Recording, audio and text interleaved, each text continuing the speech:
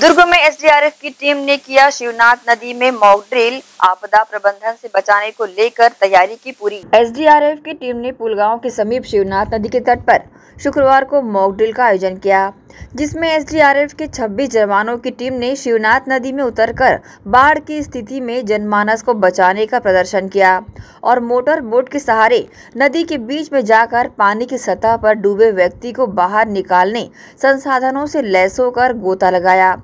SDRF की team के द्वारा बचाव कार्य के लिए आयोजित किए गए इस मॉक ड्रिल के दौरान कमांडेंट नागेंद्र कुमार सिंह भी मौजूद रहे, जिनकी उपस्थिति में एसडीआरएफ की टीम ने अपने कौशल का प्रदर्शन किया। गौरतलब है कि बरसात के मौसम को देखते हुए एसडीआरएफ के जवानों को मुस्तैद करने मॉक ड्रिल का आयोजन किया जाता है।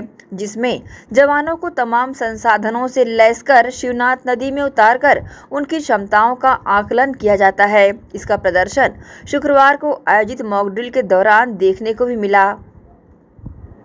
ग्रैंड एशियन न्यूज़ के लिए नसीम फारूकी की रिपोर्ट।